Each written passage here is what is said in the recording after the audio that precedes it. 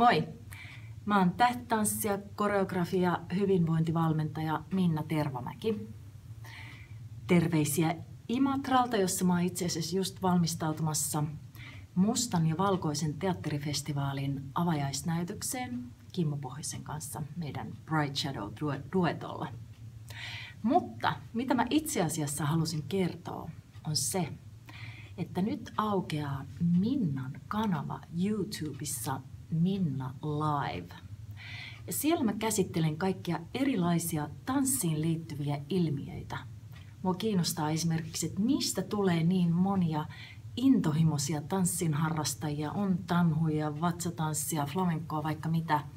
On erilaisia tanssin ammattilaisia, tanssin liittyviä ammattilaisia, fysioterapeutteja, oheisharjoitteita.